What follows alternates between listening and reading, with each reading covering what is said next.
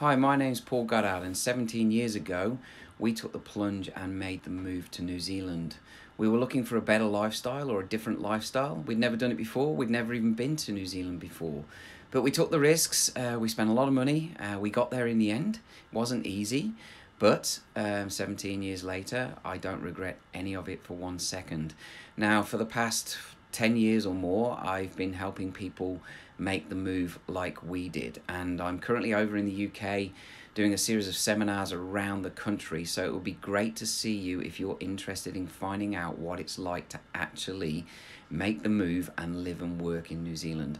I'll be telling you about the lifestyle, I'll be telling you about the immigration process, the hurdles that you need to overcome, how you can overcome them, how we can help you, of course. Um, but more importantly, the aim of this whole seminar is to get you to a point by the end of the talk or by the end of the, the seminar that you're in a much better position than you are right now, that you've got answers to some of your questions, and I'm sure you've got lots of questions about making this move. My role in helping people like you make the move is to minimize your risks and maximize your opportunities to give you the best opportunity to make this work.